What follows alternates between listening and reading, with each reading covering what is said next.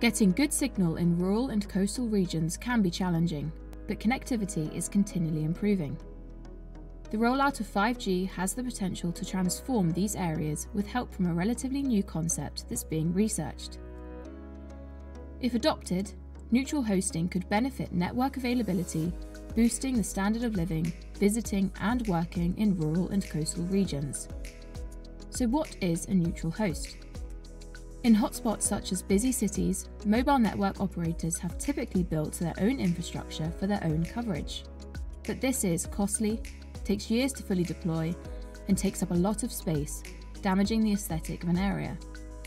With neutral hosting, operators share a single mast, owned and maintained by a third party, the neutral host, instead of each network operator building their own.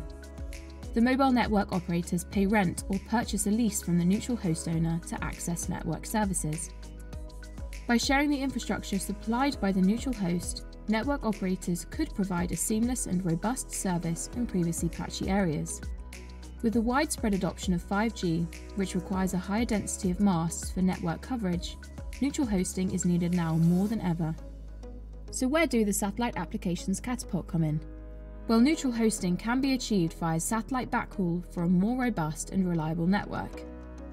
Connectivity through satellite is particularly important as it provides extensive coverage and helps to maintain constant internet access. For example, satellite access could provide a continued connection in an emergency situation like a natural disaster, where the terrestrial network is unavailable. The Satellite Applications Catapult is currently investigating the opportunities and challenges around this potentially groundbreaking model as part of the 5G Rural Dorset project, helping to bridge the digital divide and raise the standard of living in the Dorset area. We look forward to sharing the results of this research with you.